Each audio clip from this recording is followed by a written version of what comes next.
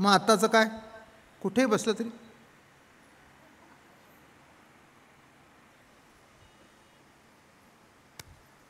हे आहे. मग त्याच्यामध्ये मला तर काही कळतच नाही बघा. कोणी म्हणतो मग तू तुझा मोबाईल कितीचा? टू जीचा थ्री जीचा फोर जीचा?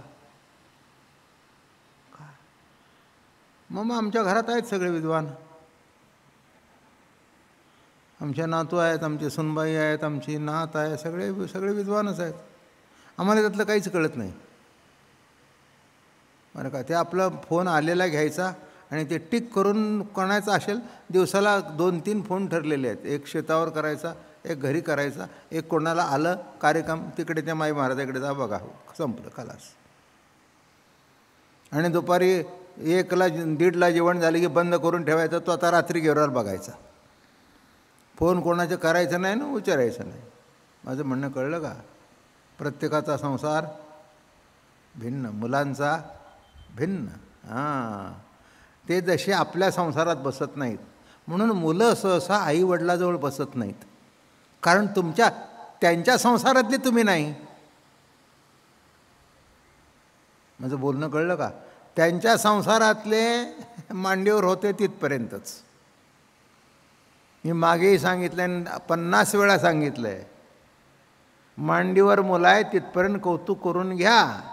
एकदा मांडीवरून खाली उतरले की पुढचं माहिती आहे. मेले तरी मांडी द्यायला सुद्धा येणार नाहीत. आहे तिथपर्यंत कौतुक करून घ्या. काय संसार? का कसा चालला आहे आमचा मुलगा फार चांगला आहे. महिन्याला दहा हजार रुपये देतो. वा वा. म्हणजे दहा हजार रुपये देतो म्हणून चांगला आहे. कळलं का तुम्हाला? संसाराचं चित्रच फार मोठं कौतुकाचं चित्र आहे बघा. आलं का लक्षात हां. मग बायकांचा संसार निराळा. दोन मैत्रिणी भेटल्या. काय गं कसं चाललं आहे आता काय असतं? बायकांना केव्हा बरं वाटतं? एक बाई तिचा मत्सर करू लागली आणि असं काहीतरी विधान तिच्या तोंडावर फेकलं की तिला बरं वाटतं. असं काहीतरी सांगावं की तिचा चेहरा उतरला पाहिजे. ह्याच्यात हुशार असतो. काय कसं चाललं आहे नाही नाही आता ही चेन आहे ना ती दोन तळ्याची आहे. मालक म्हणले आता पाच तोळ्याची करून घेऊ. असं होय. तुमचं बरं आहे वा. करून घेणार नव्हती पण चेहरा उतरला याच्यात तिला आनंद संसार. माणसं मोठी हुशार असतात. काय हां. मग काय आता नवीन भांड्याचा सेट घेतला ताटं घेतली अमकं घेतलं तमकं घेतलं हां. काय? आता बरं आहे हो सगळं तसं पूर्वीसारखं नाही आहे. पूर्वी जात्यावर जळायला लागत होतं. आता काय सगळी पिठं तयारच असतात. इडलीचं तयार ढोकळ्याचं तयार. काही नाही नुसतं बाजारात आणायचं भिजायचं टाकायचं संपलं. फक्त अजून मीठ टाकायचं कळत नाही हेच वांद आहे.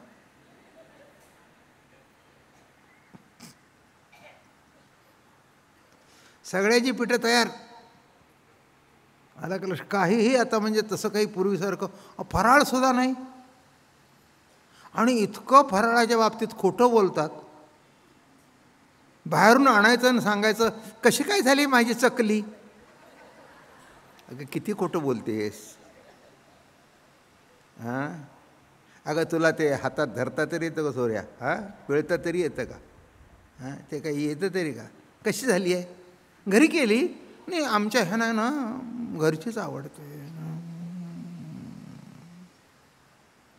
नवरा बघतोय हसतोय. बाहेर गेला म्हणणं फार हुशार दिसतेस. म्हटली ती तेच करते ते मी केलं. ती तरी कुठे घरी करते? ती बाहेरून आणते. आला का लक्षात? कसं युग पालटलं बघा. आता काय? पूर्वी लग्न म्हणजे किती तयारी? काय अशोकराव पंधरा वीस माणसे घेऊन बस्ता बांधणं अमकं तम आता इव्हेंट मॅनेजमेंट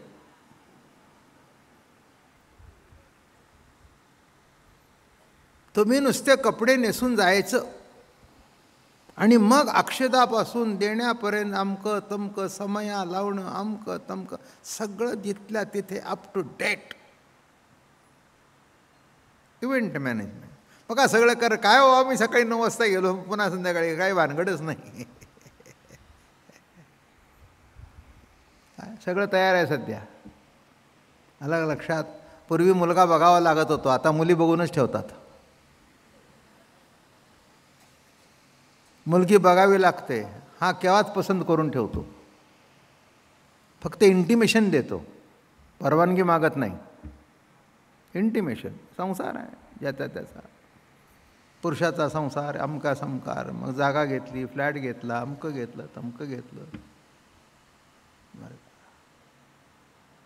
अध्यात्मामध्ये संसाराच्या व्याख्या निराळ्या आहेत. जन्म मरण हा संसार. तर एक एक पुढे जाऊ.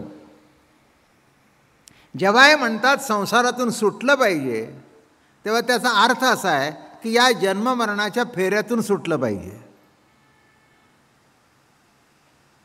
हा त्याच्यातला एक अर्थ झाला. नाथबाबांनी भागवतामध्ये सांगितलं आहे संसार म्हणजे काय? आडवे तिडवे विणले तंतू वस्त्रनाम मातू तेवी संसार शब्द हा व्यर्थूस पुरे भगवंत मी तत्वतपे बघा कसं उडवलं सगळं. काय म्हणतात? आडवे तिडवे संसार म्हणजे काय?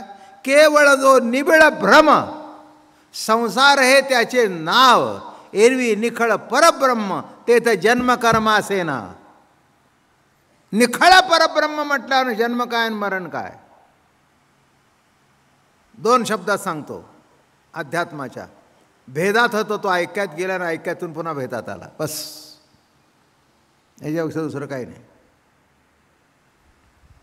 काय? आज मसालेभात केला. वर आला. आज मसाले भात कर खाल्ला. निघून गेला कुठेतरी. कुठे निघून गेला ते तुम्हाला कळलं नाही. पुन्हा महिन्याने आठवण झाली. अगं महिना झाला की? मग इतके दिवस तो मसाले भात कुठे जाऊन बसला होता? जिथे जाऊन बसला होता तिथूनच प्रगट झाला. कळलं का तुम्हाला? ऐक्यातून भेदात येतं भेदातून पुन्हा ऐक्यात जात. काय? कसं आहे? केवळ जो निबिड भ्रम भ्रम. म्हणजे तुमच्या मनामध्ये संदेह निर्माण होतो हाच संसार आहे. तसा संसार नाहीच आहे. बघा पुष्कळ व्यवहारामध्ये व्यवहारिक दृष्टिकोन काय करावं हे कळत नाही. आपलं आपल्यालाच भ्रम होतो. आई कराया नवल परी आपला संकल्प आपणावरी आपल्यालाच कळत नाही नेमकं काय करावं. हे बरोबर का हे बरोबर का हे बरोबर का हे बरोबर. मग कोणतरी विचारावं लागतं काय करू? हे कर. हां मग तुम्ही सांगितलं बरं झालं मला काही त्यातलं कळत नव्हतं. निबिड भ्रम संसार हे त्याचे नाव. एरवी निखळ परब्रह्म तेथ जन्मकर्म असे ना. मग संसार नसून सगळं परब्रह्म आहे कसा? ते सांगतात. आडवे तिडवे विणले तंतू. मृषामात नाम वस्त्र मातू मग आहे काय? आहे काय सगळं परब्रह्मच आहे. तेवी संसार शब्द हा व्यर्थू. बघा शब्द काय आला स्फुरे भगवंत तुम्ही तद्रूपे पुन्हा स्फुरण शब्द आला. म्हणजे ज्ञानेश्वरी भागवत अमृतानुभव हे सगळे एकच आहे. स्फुरे भगवंतुमी तद्रूपे मग स्फुरे जे आहे भगवंत जर स्फुरे आहे तर ते दुःख स्फुरे का? मग तत्सापेक्ष सुख तरी स्फुरे का? नव्हे सुखही नाही दुःखही नाही जे आहे ते स्फुरण आहे. जे असेल तसं. माझं म्हणणं कळलं का? जे असेल तसं. म्हणजे अमकं का तमकं हा प्रश्न येत नाही. स्फुरे भगवन तुम्ही तद्रूप. आहे हे माझंच रूप आहे. आता बघा कुठून आपण संसारात आलो? कशी व्याख्या झाली? बरोबर आहे ना? म्हणून असा संसार बट पुढचा आता प्रश्न. असोनी म्हणजे नसोनीसुद्धा आला. बरं मला कोणीही सांगावं आपण तुमचं ऐकू. सगळ्यांनाच घेऊन तुमच्या मागे येऊ की. आहे तो संसार सोडायचा आणि कुठे जायचं ते सांगा.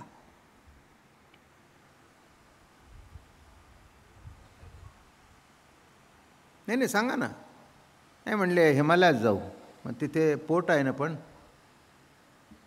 का नाही? हिमालयात गेल्यानंतर कोणी म्हणतं का पोट नाही? हे जाणारे ना सगळे जेवणाची हे जे फोटो येतात ते एका दोघाचे येतात. पण त्याच्यावर टीम असते पाच पन्नास लोकांची. फोटो काढणाऱ्यांची स्वयंपाक करणाऱ्यांची अमकं करणाऱ्यांची काय आजारी पडलं तर टीममुळे आपल्या पुढे काय येतं तेवढं ते कॅमेराने काढतात ते. अरे एकटा निघाले एकटा कसा? काढणारा आहे ना. एकटा कसा? एकटा कसा? माझं म्हणणं कळलं का? हां. कुठे हे बघा. कुठेही जा. पोट आहे भूक आहे संसार आहे. आणि म्हणून असोनी संसारी. मला वाटतं या शब्दाची ज्ञानोबारायाला जीवनामध्ये चांगली प्रचिती आलेली आहे. चांगली म्हणजे चांगलीच आलेली आहे. वडील संसार टाकून काशीला गेले. काय प्रचिती आली? कंटाळले. लग्न करायचं नव्हतं. करावं लागलं. कथा माहिती आहे तुम्हाला. मी काही पुन्हा ती रिपीट करत नाही. काय? विठ्ठलपंत आळंदीला आले बघितलं पसंत पडलं. ठीक आहे पुढचं. रात्री स्वप्नात आले यांच्याही आले त्यांच्याही आले. लग्न झालं. मुलबाळ झालं नाही. मग जरा कंटाळून गेले. मग रोज म्हणावं मी जातो मी जातो मी जातो जातो. शेवटी त्या एक दिवस म्हटल्या जा! पडत्या फळाची आज्ञा. आणि गेलं निघून. संध्याकाळपर्यंत आठ वाट बघितल्यानंतर मग अवघड झालं काम. शुद्धबंध कासावी झाले. मग रामानंद आळंदीला आले. मग त्या दिवसापासून आईसाहेबांनी आमच्या रुक्मिणी मातेने म्हणजे विठ्ठलपंत आणि रुक्मिणी बरं का? दोघांची नावं तीच. दैवताचंही नाव तेच आणि आईवडिलाचं नाव तेच. म्हणून बाप रुक्मादेवर जेव्हा जे म्हटले ना तेव्हा त्यांनी दोघालाही वंदन केलं. कुळदैवतालाही वंदन कडलं आणि आईवडिलालाही वंदन करून टाकलं. ज्ञानोबराची मोठी खुबी आहे त्याच्यामध्ये. काय? मग आल्या. पारावर बसले होते सुवर्ण पिंपळावर. आल्या. दर्शन घेऊन चरणावर मस्तक ठेवलं. मस्तक ठेवल्याबरोबर अखंड सौभाग्य तिवर पुत्रवती भाव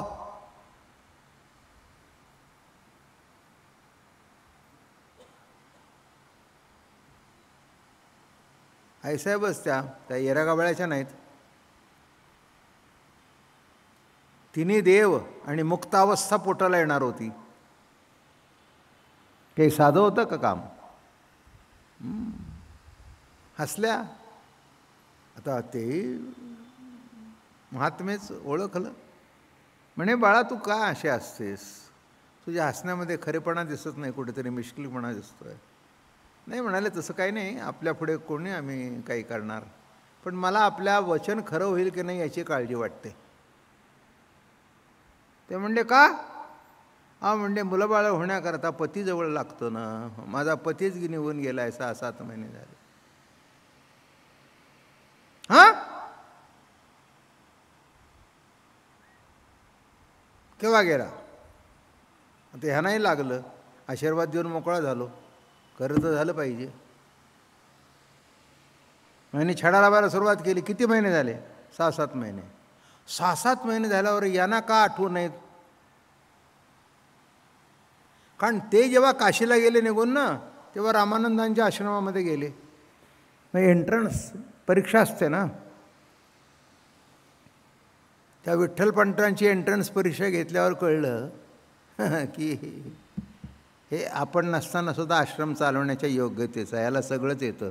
वेद माहिती आहे शास्त्र माहिती आहे पुराण माहिती आहे व्हेरी इंटेलिजंट ब्रिलियंट आहे.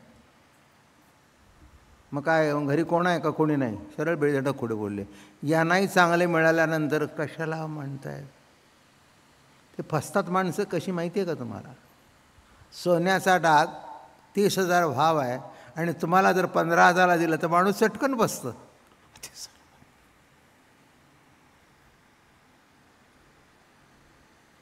बायकोला म्हणतो अहो काय सांगू तुम्हाला? का तुला काय अक्कल आहे? काय माझी हुशारी आहे? हां एक तोळा सोनं पंधरा हजारला आणलं. ते म्हणले तुमची बुद्धी मला माहिती आहे. बघू जरा खाली जाऊन या दाखवून. सोनाराने जरा कापल्यावर आतमध्ये पितळ होतं. बरं का देऊन आला पंधरा हजार. नऊ ते पाच रुपये सुद्धा. कळली का अक्कल? अवघड आहे. मोठं गंमत आहे.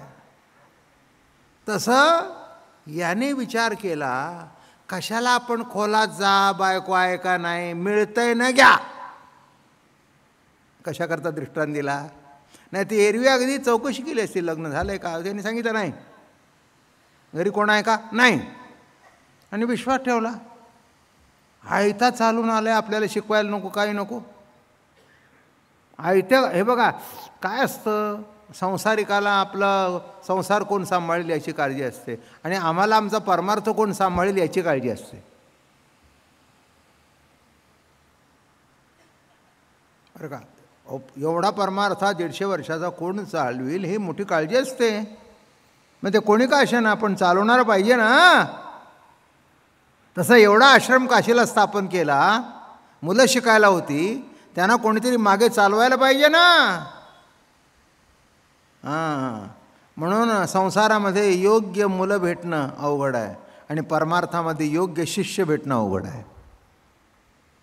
तुम्हाला साफ करणारे शिष्य भेटतील. पण तुम्हाला गती देणारे तुमच्या कार्यामध्ये हातभार लावणारे तुमच्या कार्यामध्ये मदत करणारे नाही भेटणार. नाही भेटणार. ह्यानं आठवले ते. अरे म्हणले याला सहा महिने झाले. कसा आहे दिसायला लाजल्या. भव्य भाल प्रदेश देखण्यात अशी जरा इथे खूण आहे. मांडीवर थाप मारली माझा आशीर्वाद खोटा होणार नाही हाय. काय? झाली म्हटली तीर्थयात्रा एवढ्याकरता आपल्याला बाहेर काढलं होतं. आणि बघितलं? अरे कसा नाही कशी म्हणतेस मला दिसतंय.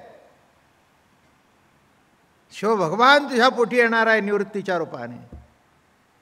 विष्णू पोटी येणार आहे ज्ञानोबारायच्या रूपाने.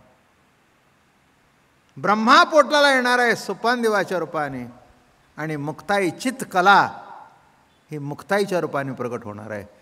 कशी तू राशील अशी?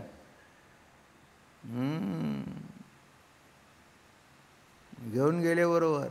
जरा बाजूला उभं केलं. हाक मारली. तिथे कफनी घातली. मुंडन बिंडन केलं. संन्यासी झाले. विठ्ठलपंत नाव होतं ते चैतन्य आश्रम नाव झालं.